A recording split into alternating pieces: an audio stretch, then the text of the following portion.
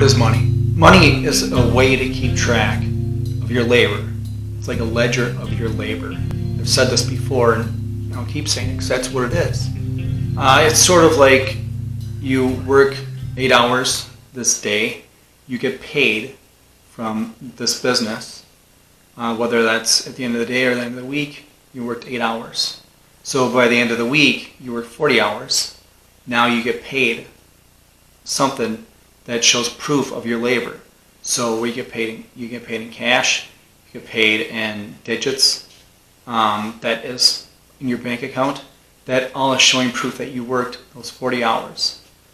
Whatever whatever you, your rate is, you have a ledger saying, "Hey, I worked for this because of this amount of digits, this this many digits I have, or this much per paper cash I have, or this much whatever I have." That's showing proof that this is a labor I had because I did this. I'm exchanging my labor that I already did to you for this this exchange of service, this exchange of a product or whatever, whether that's to your neighbor or to a business.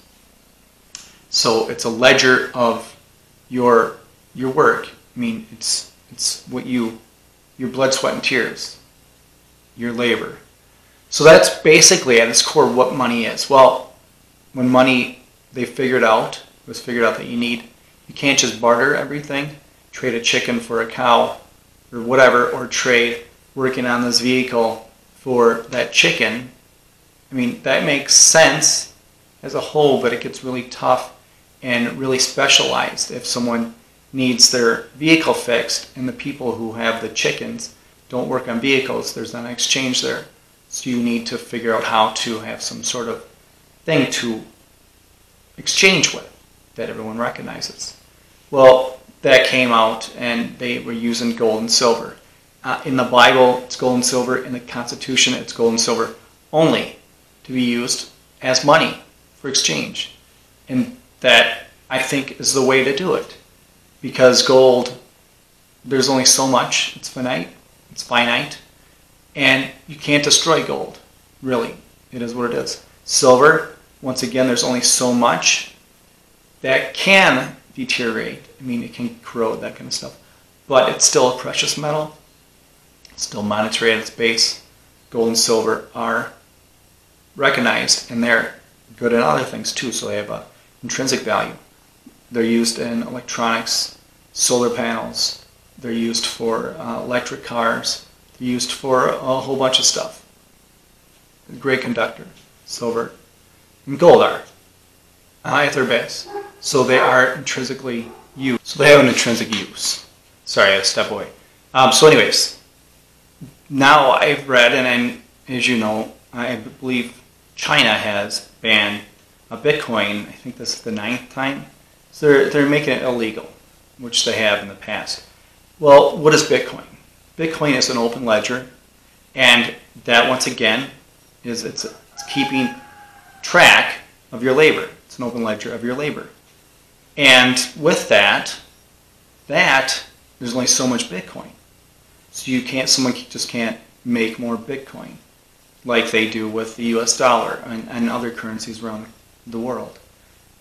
And what that does as they make more digits, more dollars, it weakens the spending power of the stuff you have, and I have.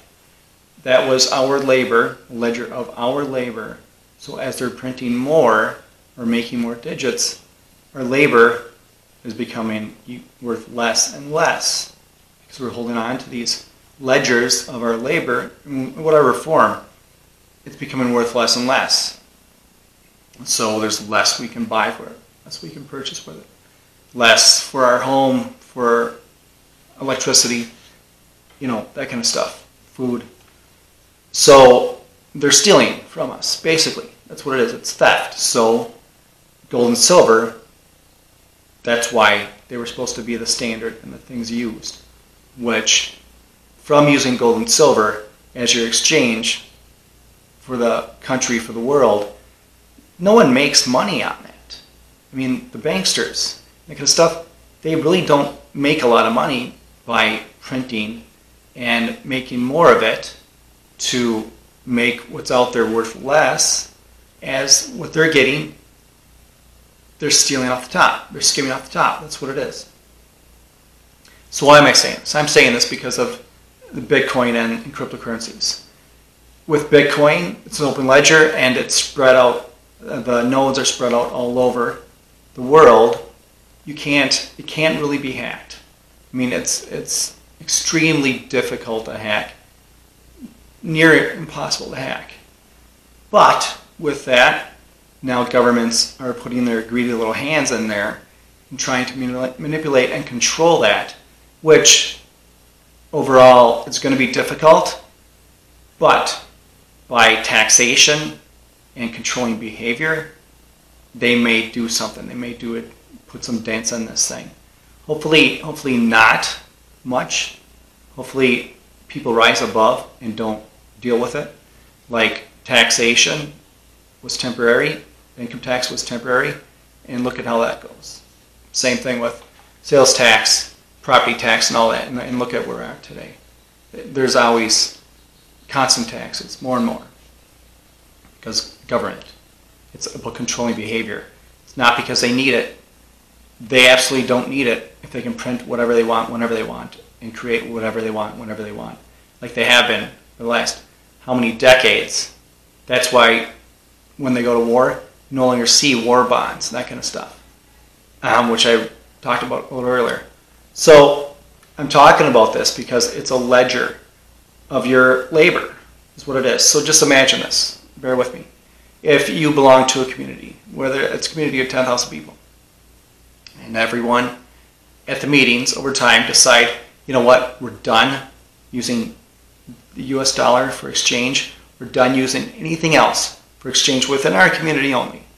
If you want to go out and do something else, you got to spend whatever is allotted, whatever you, you need to, or barter with other people. But in this community, we're going to keep track of people's labor.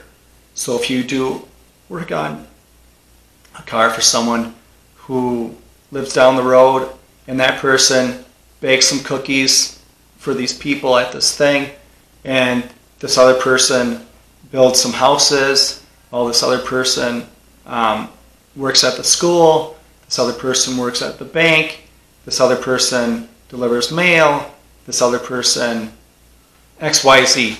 You got the idea. Well, this person might have a car wash, this person might have, you know, this other kind of shop, this person might have this other kind of shop. You know, it's just you got all these things going on, and instead of instead of telling people you got to pay me in cash, or um, I'm going to go buy this with cash, go buy this with my credit card or my digits, don't accept it. This whole community of 10,000 people do not accept it. What happens is there's one place that keeps a ledger of everybody's labor. Well, you worked this long at this place, or you worked for this place, or you helped, you know, and this person's house. You helped here, you helped there. This is really crude, an idea that I just I didn't dive into yet, really, but just think about it. So they got this ledger. In order for you to get service throughout this little community of 10,000 people, you need to go work off your ledger. Look off your ledger. Yes, you can buy this vehicle because you we just take it off your ledger. We'll, you know, call this person or we'll do whatever and we'll take it off this ledger, and then you can get it because this is the work you've done. Your labor, here we kept track of. You have this much labor. So there. So crudely, in essence, that's what Bitcoin is. It's an open ledger, which this would be an open ledger. Yes, with a community, there's one company, one little uh, group of people, whether it's five individuals or what, they're keeping track of the ledgers, and as human nature is, it can always get corrupted. Always. I'm not saying it's perfect, but I'm just trying to put that out there as an example. With Bitcoin, you don't have that. You have so many, so many nodes out there, and so many people double checking these these exchanges over and over to make sure they're legit and there's nothing wrong with it. There's no hack, nothing beyond that. That's how Bitcoin works. Is it perfect? Maybe, maybe not. Um, I, I believe there's other there's other uh, cryptos out there that are private, so government cannot see things. I think there's a Pirate Chain, uh, Monero. Um, there's a few more out there that I know of. Uh, there are there are a couple that you can turn on and off the privacy settings. Um, I don't know a ton about those, but I'm just they're out there. Whether those are the right way to do it or not, that's for you to decide. So I just I'm talking about this because I uh, what is it, El Salvador now is accepting Bitcoin as a medium of exchange. That's their nation nation's currency is Bitcoin, as they're recognizing. Is that good? It very well could be. It could be amazing for them. It could be uh, bad too. I mean, I have no idea. I'm leaning towards it's a great thing. I'm leaning towards it's a great window of opportunity here and for other people to latch onto. What would happen if this goes big and takes off and governments kept out of, the, out of this as much as possible? What would happen? Well, um, there's going to be an end of banks. Absolutely, there'll be an end of banks. No one will deal with banks. You need you need a loan. You need to to do this or that. You will do it using Bitcoin in El Salvador. They'll have some way to do that. Right or wrong, there's going to be amazing ways to do it. I'm sure. Um, the Fed, Federal Reserve, and the power of governments, and all this printing, all this endless money creation, currency creation. This is going to go away. It's going to end. That would be an amazing thing. Is it going to hurt? Are there going to be big bumps? Absolutely. In the end, the end, I, I believe, it could be amazing. It could be uh, like it used to be, or, but better. Um, would that be the end of gold and silver? I, I think absolutely not, because gold and silver are your physical aspects of that. And that's why those need to be held on to. And I hear people say, well, Bitcoin this, Bitcoin that. I'm not saying, hey, Bitcoin's the only way. I'm just reading this stuff and I'm saying I should talk about it a little bit because I have learned some stuff about it. And I did read there was there's a place in Texas, little community who's starting to use mobile phones on the Bitcoin network. That means there's no T-Mobile, no Qwest, uh, Qwest, that's an old name. No AT&T, no Sprint, that kind of stuff. There's a Bitcoin network that cell phones are being used on. That's how they're operating. And I think that's amazing.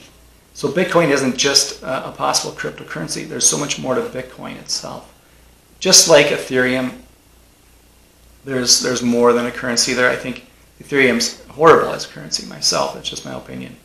But there's other cryptocurrencies out there too that, that a lot of stuff going for them. So I, I would suggest people look into this stuff and look hard and dig in deep um, because things are here.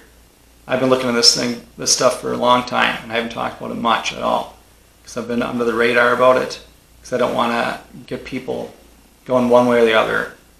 I'm just getting out there to say, think about it. Money needs to have some sort of value to it. Whether that's a ledger of your labor only, like Bitcoin, um, and people can't say that the dollar's a ledger labor. No, it's not. Absolutely, it's not because they print more and more. They create more and more of it. So it's not a ledger labor. It's it's false. It's just this fake monopoly money, basically. It's faker than fake monopoly money. But anyways, I, this is I just want to go over this a little bit, just to get people thinking about it and digging into it some. Um, they they can't make this illegal, in my opinion, because if there's a, community of 10,000 people doing that, keeping track of people's labor, how would government make that illegal? They, they absolutely would try, for sure. And their main reason for that is because they can't tax. They don't need the money, they don't need the funds. Tax is all about behavior, all about controlling behavior, and they want to be involved to control behavior. Without taxation, they have no other way to control behavior. Nothing. Period. Anyways, I hope this helps at all. Something. It's, this wasn't a really deep thought of mine, not real thought out. I just threw some stuff down and thought I should talk about this. Now, while it's a hot subject, and keep up, get people thinking um, to look into it some. But anyways, thanks for watching. You know, subscribe, share, like, that kind of stuff. And as I always, as always, stay vigilant. Protect yourself, your family, your health,